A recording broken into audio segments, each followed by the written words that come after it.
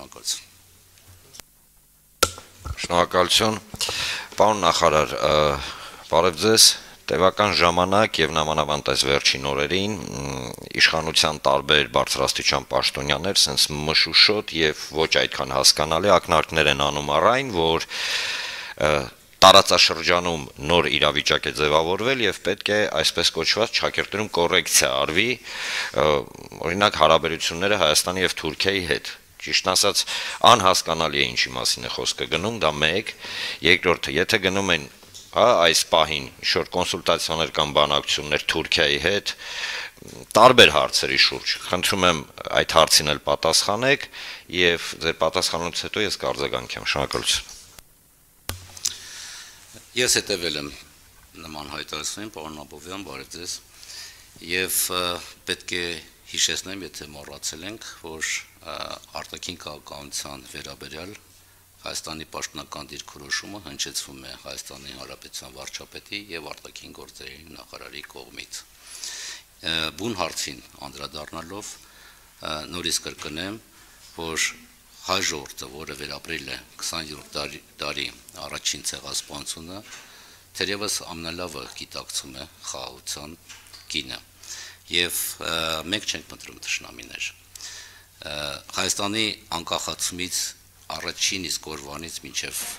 վերջերս Հայաստանը տարբեր նախաձեռնություններով է հանդես եկել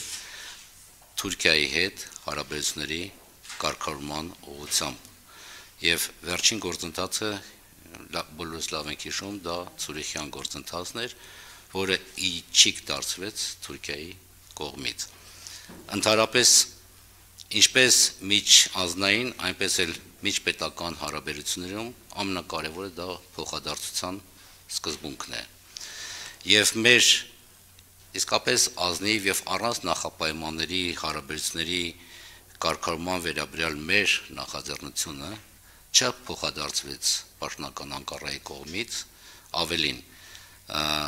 անցած դարվա հայտյացությունը, որը որի գագաթնակետն էր հայոց ցեղասպանությունը, կարծես թե ոչ միայն չի դադարեցվել, այլ նաև արտահանվել է մեր տարածաշրջան։ Բնականաբար մենք բոլորս շատ լավ գիտակցում ենք, ինչ հնարավորություններ եւ հերանեկարներ կարող է կարող են ստեղծել խաղաղությունը եւ ի վերջո հաշտեցումը, բայց դրանք լոկ գեղեցիկ բառեր չեն։ Եվ որ เป զի իրապես լինի խաղաղություն մեր տարածաշրջանում, մենք ակնկալում ենք, որ Թուրքիան կը լուրջ արմատական փոփոխությունների կենթարկի Հայաստանի հանդեպ իր ագրեսիվ քաղաքականությունը եւ կվերացնի ճշնամական գործողությունները։ Շնորհակալություն։ Շնորհակալություն պարոն նախարար, իմ սուբյեկտիվ կարծիքով Թուրքիան ոչ մի բան չի վերանայի, որովհետև թե Թուրքիա, թե Ադրբեջանի, հա, թե արտաքին քաղաքականության, թե ներքին քաղաքականության, թե պատմական բոլոր այդ ելևեջները, երբ որ մենք ուսումնասիրում ենք, տեսնում ենք, որ հակահայկական թեզը ինքն անկյունակարային է եղել միշտ իրենց մոտ։ Դա մեկ, երկրորդը այնուամենայնիվ կխնդրեմ արձագանքեք գնում են արդյոք հիմա ինչ որ ընթացքներ, կոնսուլտացիաներ, չգիտեմ, կարող է աշխատանքային խմբի ձևաչափով, կարող է ուրիշ ձևաչափերով, կարող է երրորդ երկրների օգնությամբ Հայաստանի եւ Թուրքիայի միջև գործընթացներ։